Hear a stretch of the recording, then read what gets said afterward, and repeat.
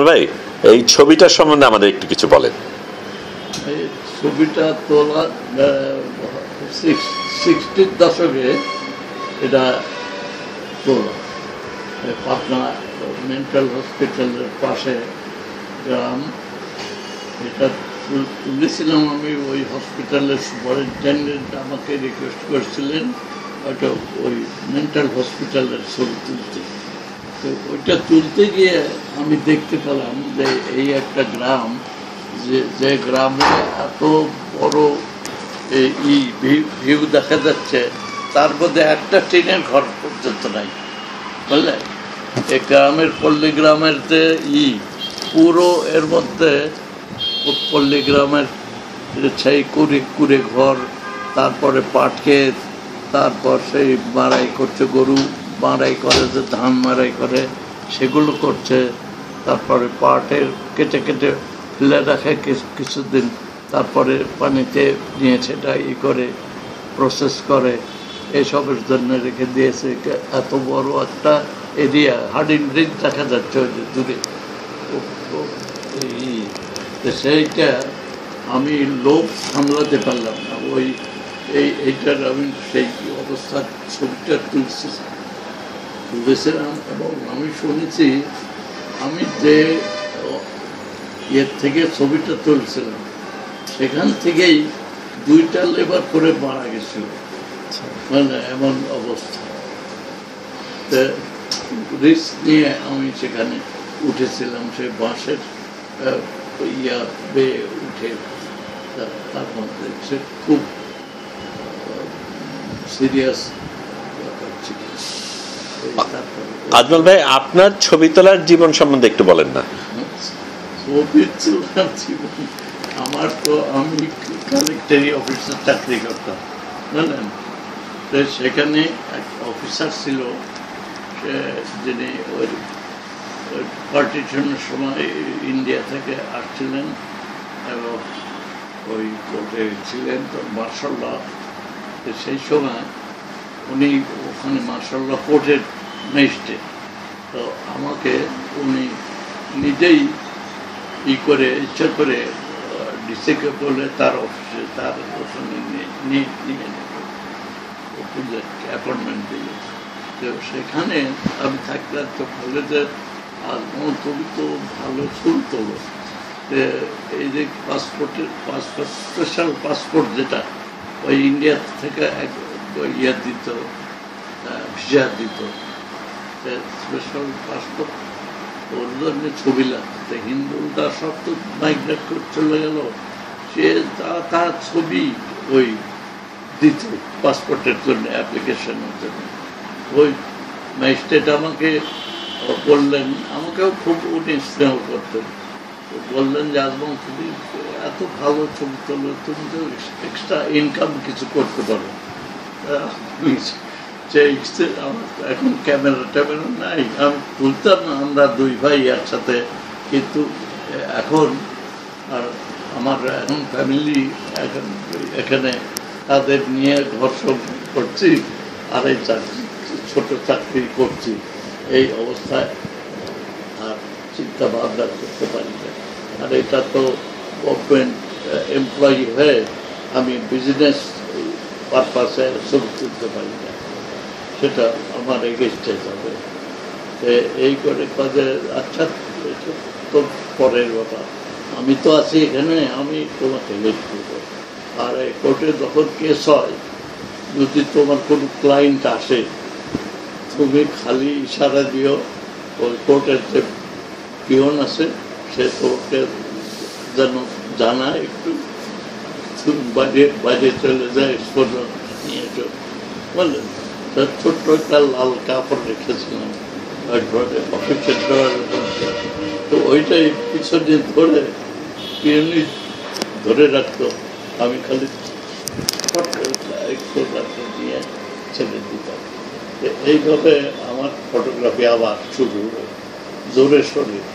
জোরে মানে ঢাকা আসতাম আমি ওই পাসপোর্ট করতে আহ, পনেরো দিন পরপরই আসতে ঢাকায় এখানে ওই পাসপোর্ট জমা দিয়ে আবার পুরানা যেগুলো জমা দিচ্ছি সেগুলো নিয়ে যেতাম ওই ইন্ডিয়ান হাই কমিশন আর ওই সময় ফটো জিনিস দশ দশ কোম্পানি ছিল। ওখান থেকে ওই ওষুধপত্র কেমিক্যালকে সব কিনে সব বেশিরভাগ সময় ওদের রেডিমেড ই বোতল পাওয়া যেত কেমিক্যালের সেইগুলো কিনতাম। যেহেতু সময় বাঁচবে ইয়ে কেমিক্যাল ভালো ইয়ে হবে।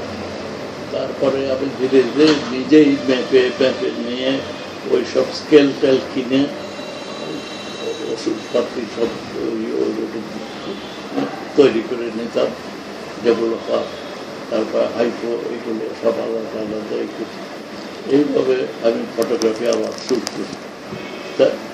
প্রথম নাইনটিন থার্টি সিক্সে আমরা দুই ভাই যেটা আপনি এবং আমানুল হক। হ্যাঁ এরা দুই ভাই মিলে মার কাছ থেকে কিছু পয়সা নিয়ে আর আমাদের কিছু পয়সা পবিত্রণী এসব দিয়ে সে কত টাকা হবে? ক্যামেরা কত টাকা হবে? কোটাকের বক্স ক্যামেরা আনা হয়েছে। ওটার দাম কত ছিল তখন? ঠিক এখন মনে নাই যে মনে হয় খুব কম খুব কম ছিল। আপনার পকেট মানি কত পেতেন তখন? তখন তো কি মার কাছ থেকে নেওয়া ইয়ে করা হয়ে- এক আনা দুই আনা কোনো কিছু? হ্যাঁ, আটান্ন দুই আনা। চেক এক আনা তখন এক আনা অনেক যথেষ্ট দাম ছিল এই করে কালেকশন করে করে আমি আর ও দুইজনে এটা ক্যামেরাটা কিনলাম বক্স ক্যামেরা যে বেবি ব্রাউনের একটা ছোট্ট বেবি ব্রাউনের ছিল না। সেটা ও কিনলো ওই আমানুল্লি মেইনলি এই করছে কন্ট্রিবিউট করছে তারপরে ওকে দিয়ে সে করে ও তো পড়ার ওর সেরকম প্রবেশ করতে পারে না এই জন্যই যে সে এত সিরিয়াস ছিল এই সব ব্যাপারে যে ওই সকালে ওই নিয়ে কলেজে ইচ্ছা করলে বের- বেরোতো, কিন্তু সে যায় ফটোগ্রাফির দোকানে, সেই দোকানের বাড়ি তার সাথে বসে বসে গল্প করে, আবার তখন কলেজ ছুটি তো তখন এই তার রুটিন রুটিন শেষে আর পরীক্ষা দিতে পারে না, কি ডিসকলেজের হয়ে গেছে। না ডিসকলেজের নন কলেজের কি বলে শেষে তার এমন সে পরীক্ষাই দিতে পারল। কলকাতা পর্যন্ত আবার গেল, যাওয়ার চেষ্টা করা হলো। আমার এক ফ্রেন্ড ছিল হিন্দু, সে তখন সে বলে যে আমার চেনা জানা লোক আছে ইন্ডিয়ায়, তা সতু সান্যাল বলে একটা খুব ইয়া লোক ছিল। সে তারপরে আরও কারা কারা ছিল এইতে তাদের দিয়ে এটা ই করার যায় কিনা শেষে দিয়ে দেখা গেল না আর এ অবস্থায় আর কিছু করার নেই। এরকম ভাবে ওরা পড়াশোনা ওই কলেজে দুয়ারে শেষ হয়ে গেল। তারপরে আমারও এসে ছোট্ট চাকরি কালেক্টরটা করি। তো ওই সময় ওই অফিসারের ইয়েতে আমি সাহায্য তার সে যখন আসে, তাকে একটা ক্যামেরা প্রেজেন্ট করছি, ওই ক্যালকাটা ইয়ে থেকে, তার অফিস থেকে ব্যাটেস বিল্ডিংয়ে ও সেই ক্যামেরাটা আমাকে দিল সেই অফিসার বলল, তুমি এটা নাও, আমার ঘরে পড়েই তো স্যার আমি ই করে না, তবে এটা দিয়ে আরম্ভ করে। তারপরে আমি দেখলাম যে এত যখন প্রেস করছে, আর ও অফিসার সেইটা নিয়ে শুরু করি। তারপরে আবার ক্যামেরা কিনে নেই একটা নতুন আলফান ফ্লেক্স, রোলি ফ্লেক্সের মতো আর কি, জাপানি ক্যামেরা। ওটার নাম ছিল আলফান ফ্লেক্স। সেইটা দিয়েই আমি বেশি ছবি তুলছি। এটাও আমার ডিস্ট্রিক্ট ম্যাজিস্ট্রেট তার ক্যামেরা দিছিল রোলিফ্লেক্স ক্যামেরা ডিস্ট্রিক্ট ম্যাজিস্ট্রেট সে তার ছবি একটা তুলছিলাম। সে দেখে অবাক কাণ্ড। সে স্পোর্টসে গেছে ওই, পাবনা। সে ওই প্রাইজ ডিস্ট্রিবিউশনে ই করবে প্রিসাইড করবে। সেই সময় আমি একটা ছবি দেখি ওয়াইফ সাথে করে ওই খেলার মাঠের ভিতর দিয়ে পাস করছি আমি হঠাৎ করে একটা ছবি তুলে তা এমন সুন্দর ছবি হচ্ছে, আমার কাছে কোথায় যেন আসে সেই ছবিটা আমি সবাইকে দেখাতাম। আমি এতে ওইটা আমি তুললাম। কয়েকটা প্রিন্ট করে বললেন, যখন ই- ই করলাম, ওকে প্রেজেন্ট করলাম ডিস্ট্রিক্ট এই ডিস্ট্রিক্ট ম্যাজিস্ট্রেট ছিলেন সেই আবুল ইসান সিএসপি তাকে প্রেজেন্ট করার সময় সে অবাক হয়ে গেল তুমি এত ভালো ছবি তোলো। আর, এই- তুমি এখানে পড়ে আসো তুমি ঢাকায় যাও না কেন? নানান রকমভাবে আমাকে ইয়ে করতো, তারপরে সেই ইয়ের সময় সেই ইয়া হলো, ওই যে পাকিস্তানে মাসাল্লাহ কি খান প্রেসিডেন্ট তখন ওই ইয়া ট্যুর করতেছিল ওই যে কি বেসিক ডেমোক্রেসি। কি ট্যুরে গেছে। স্পেশাল ট্রেনের মধ্যে ওর ফটোগ্রাফার সব কিছু সব স্টাফ ওই ছিল থাকতো। তারাও ছবি তুলছে কত ছবি। আর আমার ছোট একটা লোক সেটার মতোই না দেখার মতো না। আমি ওই ডিস্ট্রিক্ট ম্যাজিস্ট্রেট আমাকে নিয়ে গেছে। তুমি আমার সাথে থাকবা? আমাকে তুলবে। তার মানে তো প্ল্যাটফর্ম দায়িত্ব দেবে না তারপরে আমি সেখানেও আয়ুব খানের একটা ছবি তুলছিলাম। ট্রেনের ই ধরে, হ্যান্ডেল ধরে, ওই ডিস্ট্রিক্ট ম্যাজিস্ট্রেটের সাথে কী ট্রেনটা ছেড়ে দিয়েছে। রানিং অবস্থায় আমি ডিস্ট্রিক্ট ম্যাজিস্ট্রেটের সঙ্গে কি জানি একটা কথা বলার, তার ওই ঝোঁকে পড়ে এরকম করে ধরে ঠিক আমি ঠিক ওই পজিশনে একটা ছবি তুলেছি। তো ওইটা পরে আমার মনে হলো আমি আয়ব খানকে পাঠাবো।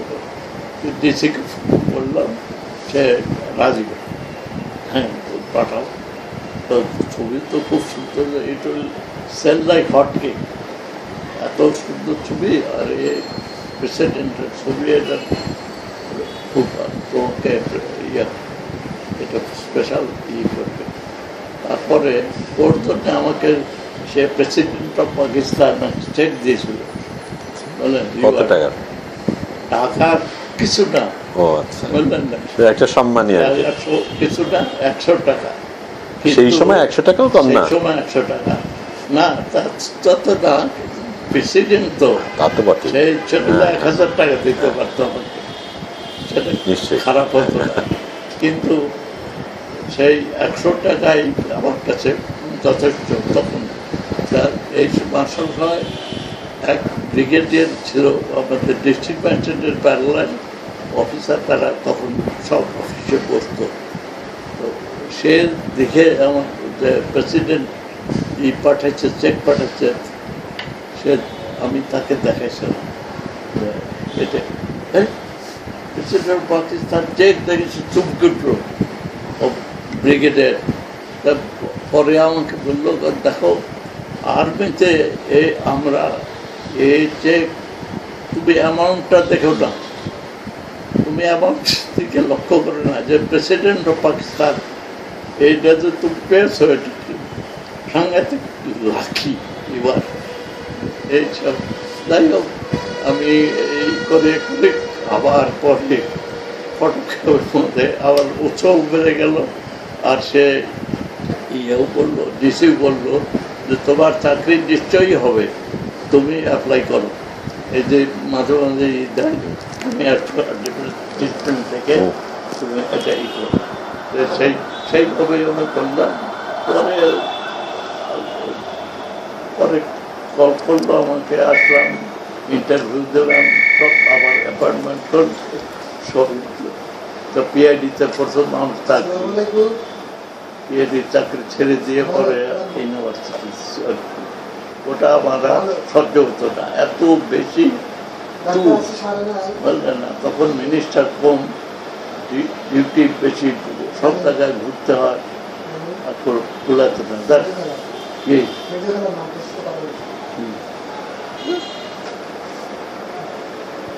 হ্যালো। সালমান হ্যাঁ আছে ভালোই হ্যাঁ। হ্যাঁ কোন তার জানি না যেখান থেকে বলছিলেন ওই যে আপনি চাকরির জন্য তখন পিআইডি চাকরি সহ্য হলো না কারণ মন্ত্রীর পেছনে দৌড়াদৌড়ি করতে হতো। সেখান থেকে বলেন হ্যাঁ, ওই তারপরে ঢাকা ইউনিভার্সিটিতে অ্যাডভার্টাইজমেন্ট দেখলাম। দেখে অ্যাপ্লাই করাতে ডক্টর এম তো ভাইস চ্যান্সেলার তো উনি ছবি টবি ভালো বুঝতেন এবং অ্যাপ্রিসিয়েটও করছে আমার যখন আমি ইন্টারভিউর সময় যে আমি ছবি নিয়ে গেছি, সেগুলো দেখে উনি এত ইমপ্রেসড হয়েছেন বলেন তুমি এখনই জয়েন করো আমার অফিসে তো আমি না, আমি তো গভর্নমেন্ট ইয়েতে চাকরি করতাম আগে। সেগুলো থ্রু প্রপার চ্যানেল আমি আসছি। আমার সার্ভিস ইয়েতে কাউন্ট হবে ওগুলো তো আমি চাই যে থ্রু প্রপার চ্যানেলেই আমি এটা দু একদিন দেরি হলেও আমি ওটা ই করতে চাই আর কি। সার্ভিসটার এইটাও রাখতে চাই আর কি। আপনার যদি কোনো কাজের দরকার হয় এর মধ্যে আপনি বললেই আমি আসি এসে করে দিন তো উনি রাজি হয়ে গেলেন এবং সে ইন্টারভিউতে বসেই তখন ওই সব এদের সঙ্গেই আলোচনা করে সঙ্গে সঙ্গেই আমাকে ওই অ্যাপয়েন্টমেন্ট ইয়ে করে।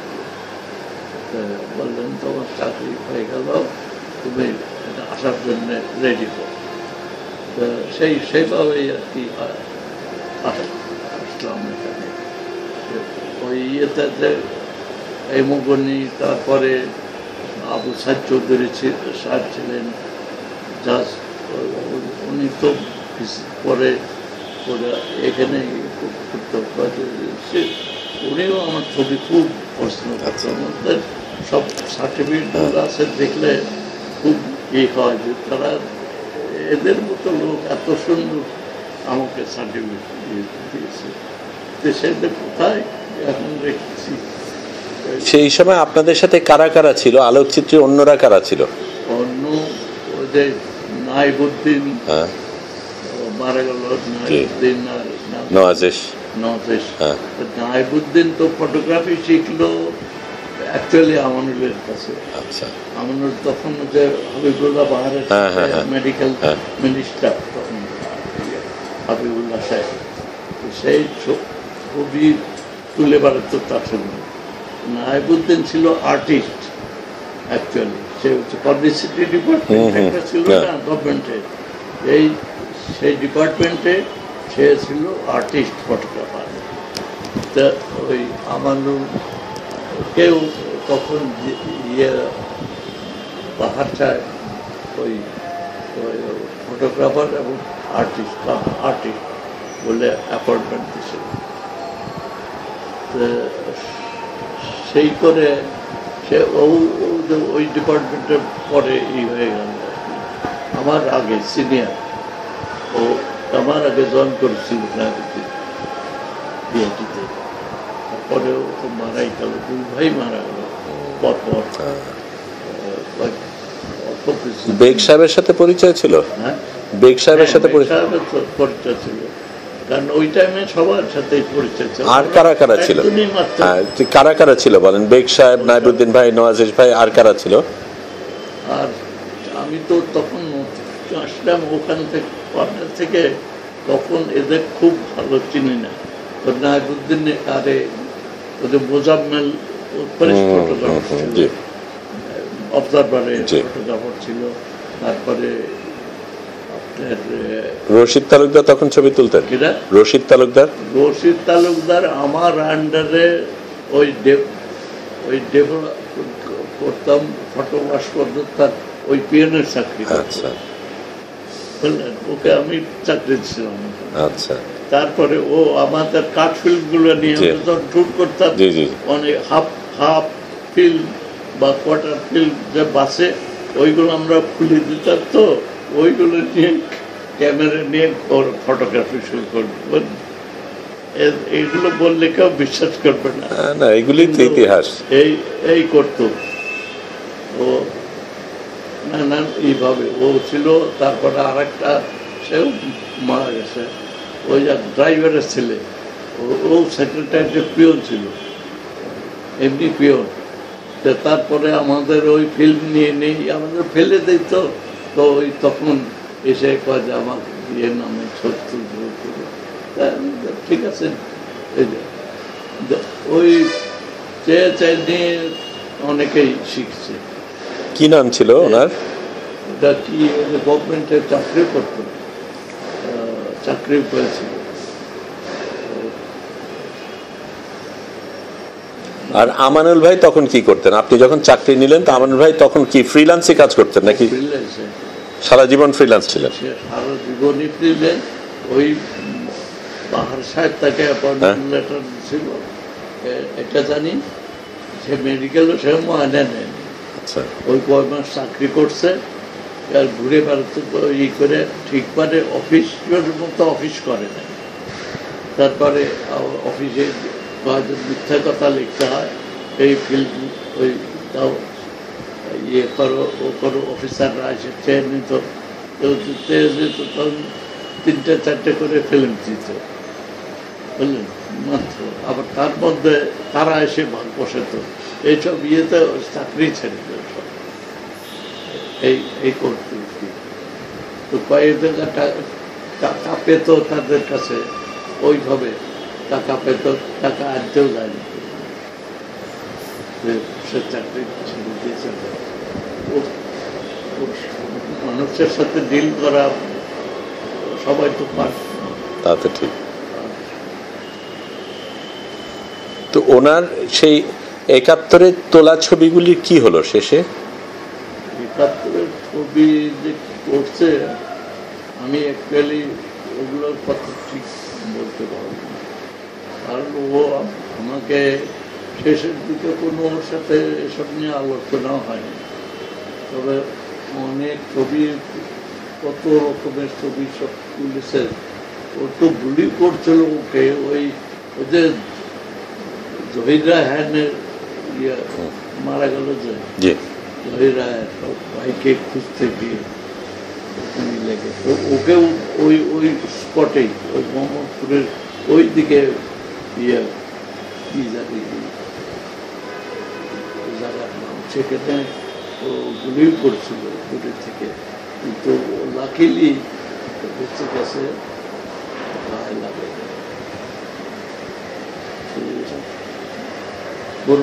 কালেকশন ছিল কি করেছে সেটা বলতে পারতো ও বইটার মধ্যে হয়তো কিছু কিছু পাওয়া যাচ্ছে বইটা করার সময় তো নিশ্চয়ই অরিজিনাল কিছু ছিল যেটার থেকে বইটা করা হয়েছে সেগুলি কোথায়? সেগুলি ওর কাছে হয়তো মফিজুল হকের কাছে থাকতে পারে কারণ তার সে তো হ্যাঁ হ্যাঁ নিশ্চয়ই। আমি দেখি মফিদ ভাইকে জিজ্ঞেস করব। যে এই জিনিসগুলি না আমাদের এই নতুন প্রজন্ম যারা তারা তো কেউ জানে না দেখে নাই। হ্যাঁ তাদের দেখা দরকার। সেই জন্য আমি এইগুলিকে সব সংগ্রহ করতে চাই। অন্তত ছাত্রছাত্রীরা এই এরকম মানুষ ছিল। বলেন। আমি আমার এই ছবিটার জন্য আমি চিন্তা করলাম যে কোথায় দেওয়া যায়। অনেকেই হয়তো চাপে দেখলে চাওয়া উচিত তো খুব সুন্দর ছবি।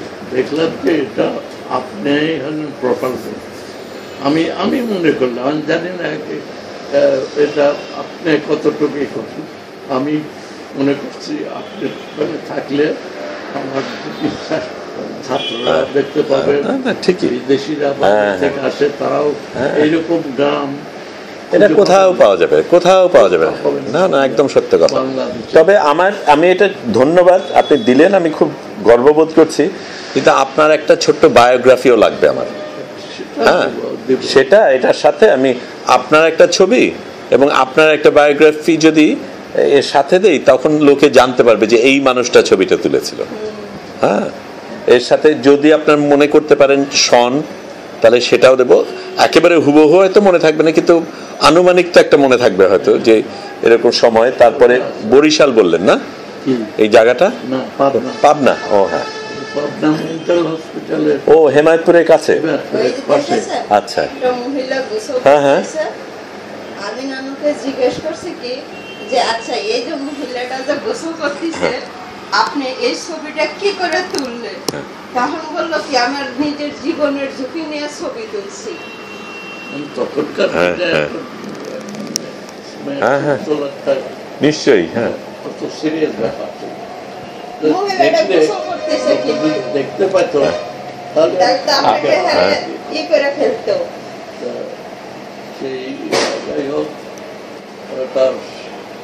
এটা কোথা থেকে? পাহাড় থেকে তোলা? না। তাহলে? এটা অ্যাকচুয়ালি ওই যে মেন্টাল হসপিটালের যে ওয়াটার ট্যাঙ্ক হ্যাঁ হ্যাঁ হ্যাঁ। আর সাইড দিয়ে যে বাঁশের ইয়ে করে করছে না হ্যাঁ হ্যাঁ হ্যাঁ। স্টেপ স্টেপ করে এই করে সেই সেই স্টেপ সেই রোলিফ্লেক্স নিয়ে? হ্যাঁ, আচ্ছা। সে তিনটে ক্যামেরা তিনটে ক্যামেরা আমার গলায়। রডি ফ্লেক্স আলবান ফ্লেক্স আর একটা কি? হাইগোল্যান্ডার নাকি একটা? হোয়াইটল্যান্ডার হ্যাঁ। হাইগোল্যান্ডার হ্যাঁ হ্যাঁ। আমার মনে হ্যাঁ। তিনটে ক্যামেরা আমার গলায়। আমি ওই মাঠ ধরে ধরে ধরে ধরে ধরে ধরে এইভাবে উঠছে কিন্তু আমি বুঝতে পারি নাই যে কত সিরিয়াসলি দড়িগুলো এত নরম হ্যাঁ। হয়ে গেছিল যে পরে দুই দিন পরে নাকি আমি ছবি তুলে আসার ওই লেবাররা পড়েছে মারা গেছে আমি তখন আমার কাপ ছিল যে যে আমি তো এই দশা হতে পারি। হুম। আমার। তো আপনি তো ওই সুপারিনটেন্ডেন্ট সাহেব তো এখনও বেঁচে আছে। ঢাকাই তাই নাকি? হ্যাঁ। ওনার নাম কি? ঢাকাই আছে।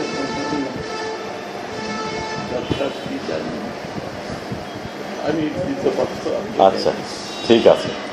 নাম। আর কাজে ভালো ছিল। এটার জনকণ্ঠে একটা পেপারে দিছিল। আসানুল হক নিয়ে গেল যে দেন ছবিটা আমি বড় করে চিন্তা করেছিল কিন্তু অ্যাকচুয়ালি ছাত্র ছোট করে তার মধ্যেও কিন্তু ডিটেল দেওয়া ছিল না আচ্ছা। আচ্ছা, আচ্ছা। ঠিক আছে সেটা তো আর খুঁজে পাওয়া যাবে না এখন আপনার থেকে নতুন করে নিতে হবে আর কি